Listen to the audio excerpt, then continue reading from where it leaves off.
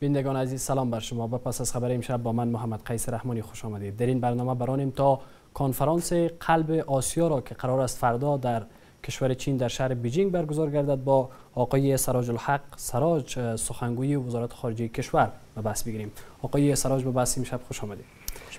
میشه به عنوان نخستین پرسش ارائه بکنیم که آیا این نشست ایده ای اصلیش از کجا بود و از کجا نشست می‌گیره بسم الله الرحمن الرحیم. سلام بر شما و سلام بر بینندگان عزیز تلویزیونتان.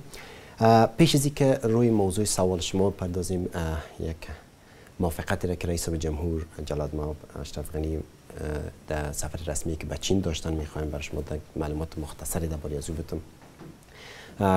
جلاد ماب اشرف غنی رئیس جمهور اسلامی افغانستان بنا به دعوت رسمی چین به کشور چین سفر داشتن و با امتهای چینی خود با رئیس جمهور صدر و رئیس پارلمان دیدارهای جداگانه داشتن. موافقت هایی که ما داشتیم در این بخش از ما چهار موافقت نامه امرای چین امضا کردیم که دو بخش از این مربوط به وزارت خارجه میشه که یک معلومات خلاصه بورش میگیم. اولش در خاطر رفع ویزه دیپلماتیک است. که از جمله کشورهایی شد که ما رفع دیپلماتیک ویزا میشیم. موضوع دوم کمک های بشر دوستانه است و همچنان بین اتاقهای تجارت و بین از تجارت اقتصاد ما هم موافقت نامه امضا کردیم که یک دستاورد بسیار بزرگی به مردم افغانستان است. میم به سوال شما قرار است بله فردا پروسه استانبول یا قلب آسیا چهارمین جلسه برگزار شود. این اصلا پروسه استانبول یک پروسه است که پروسه افغانی است یک پروسه سیاسی است که رهبریت از پیش خود افغان است. در سال 2011 در دو, دو نوامبر 2011 در که استانبول ترکیه برگزار شد. به او خاطر میگن پروسه استانبول اما چون کشورهای قلب ایده اصلی این نشست از کجا نشد می‌گیره حامی اصلی این نشست و طراح اصلی این نشست کی بوده؟ خب قراری که قبلا هم گفتم طراح اصلی و رهبریت از خود افغان هاست و حکومت ماست که این چهارمین سالش است و این چهارمین دورهش است که ما برگزار می‌کنیم. که دوره اولش در استانبول است به خاطر به نام پروسه استانبول چون کشورهای قلب آسیا و افغانستان در قلب آسیا موقع داره به نام قلب آسیا میگن. اصل یک پروسه سیاسی است. صرف می‌خوایم بگیم که تشریح کنیم که پروسه به خاطر چی است؟ یک پروسه سیاسی است. که روی موضوعات اعتماد سازی بین کشورهای آسیایی یا کشورهای منطقی افغانستان اصل اهداف محورش است که سر اعتماد سازی منطقه از نگاه اقتصادی نظامی امنیتی بحث های می‌شد البته این بعضی فکر می‌کنن که جایگزین پروسه های دیگه میشه. نه خیر این قسم نیست. این جایگزین هیچ پروسه دیگه نمیشه. یک پروسه افغانی است که به خاطر اعتماد سازی منطقه و به خاطر پروژه هایی که ناتکمیل و پروژه هایی که در طول چندین سال تکمیل نشده این به خاطر تکمیل شدن اون پروسه هاست. نحوه برگزاری این نشست چگونه است و چند عضو در این نشست اشتراک خواهد کرد و فردا این نشست چگونه برگزار خواهد شد؟ خب ای ما 14 کشور عضو داریم که افغانستان کشورهای همسایه به شمول چین و روسیه و ترکیه و عربستان و امارات متحده عربی است. و همچنان این پروسه 16 کشور تمویل کننده یا کشور کمک کننده داره که اتحادیه اروپا و امریکا و استرالیا است. و همچنان اینجا 12 ارگانیزیشن های منطقوی یا کمیسیون های منطقی و کمیسیون های بین تمویل می‌کنن. قرار گفتم ما به خاطر ایجاد یک منطقه یک فضای امن به خاطر اعتماد سازی بین کشورها چون از موقعیت افغانستان که خود جیوپولیتیکلش یک موقعیت بسیار اساس قرار داره در قلب آسیا ما این خواستیم که استفاده کنیم و این قلب یک پل یا برج بسازیم که بین کشورها باشه. بین کشورها باز نگاه اقتصادی بین شمال شرق و جنوب غرب. به این خاطر ما این پروسه را پیش بردیم و تمام کشورها به خاطر اعتماد سازی را شروع کردیم. ما 43 مورد شناسایی کردیم که باید روی سی بی ام یا اعتماد سازی 43 مورد کار کنیم. اما به خاطر از اینکه عضوهای مختلف چون یک موضوع بسیار مهمی را که باید یاد کنیم ما قسمت موقع جغرافی ما در موقعیتی هستیم که کشورهای بسیار متخاصم در اطراف یکی دیگر قرار دارد. به اون خاطر به خاطر فضای اعتماد سازی از سر موضوعات بسیار خرد شروع کردیم که درباره 6 یا 7 مورد ما اعتماد سازی را شروع کردیم. آیا رشته های ریشه های اصلی خصومت در میان یافته اید و بالای آن کار صورت می‌گیره؟ خب بله. خب ما اصلا روی تمام قرار گفتیم یک پروسه است که اعتماد سازی شروع می‌کنیم و تمام مشکلات منطقه منطقه را منطقه می‌سازیم که باید منافع کشورهای منطقه باید منافع خود در یکی دیگه خود ببینن. از نگاه اقتصادی می‌خوایم کشورها را پیوند بتیم از نگاه ترانزیت می‌خوایم پیوند بتیم از نگاه تحصیلات تعلیم تربیه مبارزه علیه دهشت افغانی مبارزه علیه مواد مخدر. ما می‌خوایم کشورها را با هم دیگر ربط بتیم و که دیگه گری بتیم تا باشه این منطقه یک منطقه صلح و رفاه شود. قرار است فردا چهارمین دور از این نشست در بیجینگ برگزار شود. سه نشست یافته هایش چی نشان میده؟ آیا یافته هایش قناعت بخش و گره گشایی برای تامین امنیت در منطقه بوده یا خیر؟ بله آخو قراره که گفتم هر پروسه و یک مدت وقت کار داره. نمیشه که امروز ما شروع کنیم و فردا نتیجه باید بگیریم. ای و اعتماد سازی است. خود این پروسه اصلا همکاری های منطقه. وقتی ما می‌خوایم همکاری های منطقه بوجیم باید اعتماد سازی اول بسازیم. به خاطر بله روز شش یا هفت موردی که ما کار کردیم. یا البته چهارمین جلسه ایش است که یک جلسه در خود استانبول بود. دومش در کابل و سومش هم در آلماتی. و این چهارمش است در چین است مشخصا شما روی کدام موارد تا هنوز کار کردید؟ روی مواردی کار کردیم مثلا ما تمام کشورها در در هر پلیس داخلش اعلامیه که پخش کردن گفتن که منافع کشورها را به منافع یکی دیگه می‌بینن. آیا واقعا چنین است؟ در این مورد ما کار می‌کنیم اعتماد سازی. بله کشورها در این مورد مکملا امضا کردن که منافع اقتصادی به یکی دیگه گره خورده است. منو یعنی اما تلاش ها و سیاست های خارجی همسایه افغانستان در قبال افغانستان چگونه است؟ آیا در سالهای پسین سیاست های خصومت آمده پاکستان دقیقا در قبال افغانستان فکر نمی‌کنین خیلی شدید شده و در برابر افغانستان جنبه شدید اختیار کرده؟ خب بیایم به یک چیز اقرار کنیم که تنها یگانه پلیسی نیست که درباره صلح کار می‌کنه.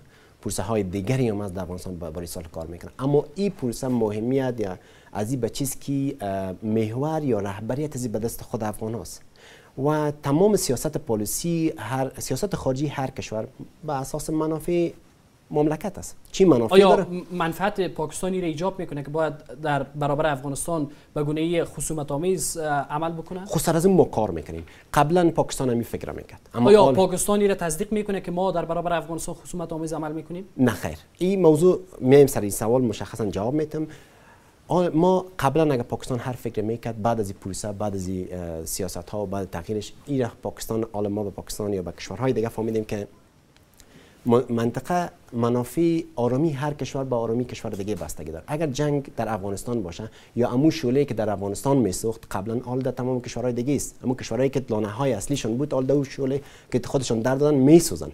پس بیایم اقرار کنیم که او هم به عقیده هستن که نه. حتی در اعلامیه هایی که ما در هر خود شما از پاکستان نام برده پاکستان یکی از جمله عضوهای می 14 عضو یکش پاکستان هم است که در هر کدام از این بخش از علیه مبارزه علیه دهشت افغانی یا لانه های توریسم توریسم خودش امضا می‌کنه و این شرایط قبول کرده و هو می‌فهمه که نه این دیگه رای حل نیست و این مفاد از این نداره. و یک اعلامیه داخلش گفتن که مفادش هم در مفاد افغانستان است. آرامی کشورها با آرامی افغانستان بستگی داره. یک پروژه که ما رویش کار کردیم و خوشبختانه یک دو سه هفته قبل امضا شد پروژه کاسای 1000 است. این بستگی کاسای 1000 صرف می‌خوام یکم معلومات بدم که چی است. کاسای 1000 پاکستان به برق بسیار ضرورت قوی داره. مردم پاکستان و خود پاکستان کشورش به برق ضرورت داره. این می‌تونه منافع برق خود از کجا بگیره؟ از آسیای میانه که با قراردادی داشتن با کشور تاجیکستان و کشور ترکمنستان. برق از یگانه راهی که باید برق از افغانستان است. وقتی برخی از افغانستان تر میشه که افغانستان آرام باشه. افغانستان اینمی که سال آینده امسال سال آینده شروع میشه و در 2017 تمام میشه. برق که تیر میشه. این گری خوردن های سپاس از شما. بس رو ادامه میدیم اما پس از میان برنامه کوتاه.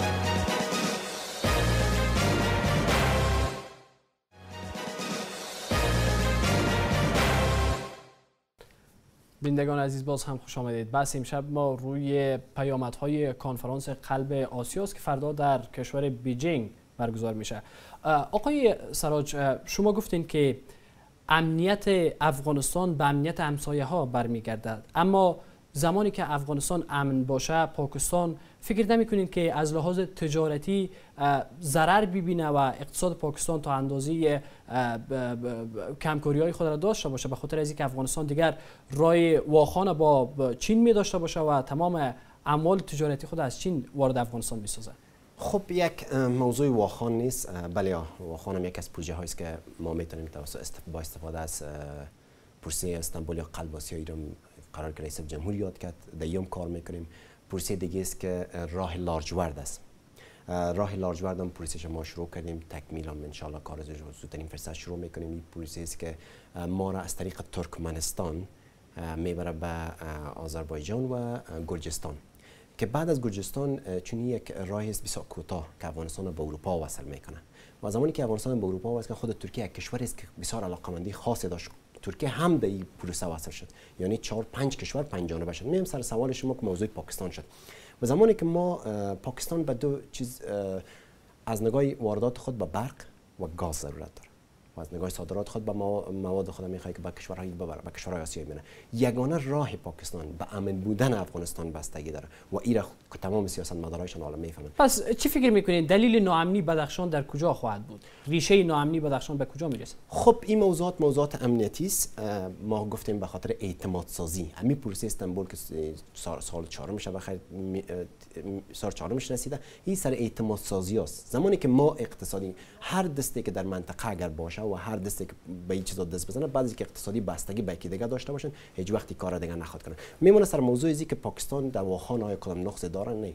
پاکستان می‌تونه از طریق افغانستان تولیدات خود به آسیا میانه به طریق آسان بره و می‌تونه پاکستان از طریق خود افغانستان با اروپا بسیار با از طریق آسان وصل زمانی که ما راه لاجورد وصل کردیم به ترکمنستان از ترکمنستان به بهیره خزر که بهیره است که گاز است. ایر چین هم او دو زمان دلچسبی پیدا می‌کنه که در ایران وصل شد زمانی که ما واخان یا راه ابریشم قبلی را افتتاح کنیم یک راهی است که ما منطقه یا دنیا را وصل می‌کنیم. ما نه تنها از نگاه اقتصادی می‌تونیم به منطقه موقعیت جغرافیایی در قسمت است که نه از نگاه سیاسی بلکه از نگاه اقتصادی از نگاه سیاسی هم می‌تونیم رول پلیر خوبی در منطقه باشیم. پس چی فکر می‌کنید؟ تشویش پاکستان از کدام نایه است؟ خب این موضوعات موضوعات قبلی است. پاکستان قبلا به چشم دیگه به افغانستان می‌دید. حالا پاکستان هم درک کرده که نه و افغانستان افغانستان سابق نیست. ما در پیشرفت بسیار زیاد هستیم. اگر شما افغانستان امروز به افغانستان ده سال پیش مقایسه کنید بسیار تفاوت می ما از کشورهای همسایه خود کده در بسیار مواقف خود بالاتر هستیم. یک از مواقفش آزادی بیان یا مطبوعات میگیم. مطبوعات آزاده که ما فعلا داریم در کشورهای همسایه ما هیچ کدامش ندارن. ما پیشرفت های زیادی کردیم. او پاکستان یا هند یا هر کشور دیگه باشه با او چشم به طرف ما نگاه کنه نمی‌تونه و می‌تونه از ما استفاده کنه مثلا باز نگاه سیاسی ما برای شما میگم. ما چی محوری را بازی کرده می‌تونیم؟ منطقه منطقه بسیار متخاصم است. ما روابط بسیار دوستانه سیاست پالیسی ما قسمی است که با تمام دنیا و خصوصا کشورهای همسایه قرار که رئیس جمهورم به پنج حلقه سیاست خارجی خود تقسیم کرد در حلقه اولش کشورهای همسایه ما می‌تونیم با استفاده از روابط خوب خود با چین و روابط خوب با پاکستان می‌تونیم نقش مهمی را در به این دو کشور به دوستیشان کار کنیم. و همچنین بین چین و هند بین ایران و آمریکا بعضی کشورهای دیگه از این ما استفاده از پرسش اینجا شما در گفته های خود روابط در میان کشورهای همسایه روابط خیلی متخاصم گفتید. چی فکر می‌کنین؟ آیا این روابط متخاصم می‌تونه یک اعتماد سازی خیلی خوب در میان خود برقرار بسازن یا خیر؟ خب برگردیم به گذشته و به تجربه های مملکت های دیگه. این کشورهای متخاصمی که فعلا است زمان اروپا هم یک از کشورهای متخاصم بود بین یک دیگه خود. پس این شعاری که امنیت افغانستان وابسته به امنیت کشورهای همسایه دیگر هم است این این شعار هم در حد ایدئال باقی میمونه نه خیر نه وقتی که تمام کشورها می‌فهمه که افغانستان یک پل ارتباط است. افغانستان نقطه است که شرق از جنوب به شمال و شرق به غرب وصل می‌کنه. زمانی که این آرام باشه هیچ وقت یا وصل نمیشه. یعنی امو اقتصاد یا امو منافع خوده منافع هر کشور. دوست دوستی کشورها و دشمنی کشورها به خاطر منافعشان تغییر می‌خورن و آل باعتی کشورها می‌فهمن که نه افغانستان آرام به خاطر اقتصادی سیاسی و امنیتی بر از من می‌خوایم بپرسم که یافته های این کنفرانس به کجا میره؟ آیا شما بالایان کار می‌کنین یا می‌گذارید به مرجع دیگری که تا بالای از کار صورت نه امی کشورها ما کار می‌کنیم. ما همکاری های منطقه‌ای در خود وزارت خارجه با هم ارتباطات نزدیک دارن. سالانه یک بار به سطح وزیرا دوباره به سطح معین صاحبا و چندین بار به سطح خود ریاست ها با هم ملاقات می‌کنن. قرار قبلا ذکر کردم 43 مورد را که ما شناسایی کردیم از جمله 43 6 یا 7 از که ما کار می‌کنیم این به خاطر یک از این کشورها یک یا دو کشورها رهبریت از این پیش می‌بره. مثلا مبارزه علیه توریسم یک کشور رهبریت از این پیش می‌بره و گزارش دهی است. این کار مشترک است اعتماد سازی است که ما هم کار می‌کنیم منطقه و یک پروژه تاپی را هم یاد می‌کنم در این موضوع که بسیار برای پاکستان و هند مهم است. گازی است که از طریق افغانستان و از بهیره از ترکمنستان قرارداد گازی است که از طریق افغانستان به پاکستان و از پاکستان به هند میره. یک از پروژه هایی که ما می‌خوایم تطبیق کنیم. با تطبیق شدن از این پروژه افغانستان باید افغانستان با امن باشه. عدم یک عدم مداخله باید شود. و با پاکستان و پاکستان هند هم روابط باید خوبی باید داشته چون با گاز یکدیگر بستگی دارن ما می‌خوایم بفهم که یافته های این کنفرانس زمانت اجرایی است یا فقط اخلاقی جنبه اخلاقی می‌تونه داشته خب زمانت های اجراییش به مرحله پیش میره. قبلا هم ذکر کردم این سال چهارم ماست. ما سر از کار می‌کنیم. اما ان الله در این دوره سرش کار بسیار به شدت دوام داره. چند وقت پیش از هر کنفرانس ما به سطح سفرا نشست هایی داشتیم که هفته قبل در وزارت خارجه جمهوری اسلامی افغانستان به سطح سفرهای مملکت های عضو و مملکت های تامین کننده نشستی داشتیم. با تمام معاهده و می شش یا هفت مورد اجماعی می صورت گرفت و تمام موارد قبول کردن. آیا آیا تا هنوز این یافته ها به گونه اخلاقی رونما میگرده خب بعد از قبول کردن از که این اجماعی عمومی بود ما طرحها را که گفتیم که باید عدم مداخله است مبارزه علیه تروریسم مبارزه علیه مواد مخدر راه های اقتصادی راه های ترانزیتی کل اعتماد سازی را. تمام کشورهایی که در اطراف هستند این کشورهای قلب آسیا این امضا کردن و گفتن که در این پروژه موافق هستند و اجماع اگر کشوری از این تعهدات خود با میورزه امین برخورد کنفرانس در برابر این چه بود؟ خب این کشورها را آزاد هستند که می باشن یا میرن اما این کشورها هر کدام منافع خاص خود دارند اینجا. هر کشوری جا منافع داره که در این آمده داخل شده و به کار می‌کنه. یعنی منافعشون است. هیچ کشوری حاضر نیست منافع خود از دست بده. سپاس از شما. بینندگان عزیز این بود بس با آقای سراج الحق سراج سخنگوی وزارت خارجه جمهوری اسلامی افغانستان که در مورد نشست کنفرانس کشورهای قلب آسیا که قرار است فردا در کشور چین در شهر بیجینگ برگزار گردد با ما بحث و گفتگو داشتند. تا دیدار دیگر باز هم در خدمت حاضر میشیم. بدرود.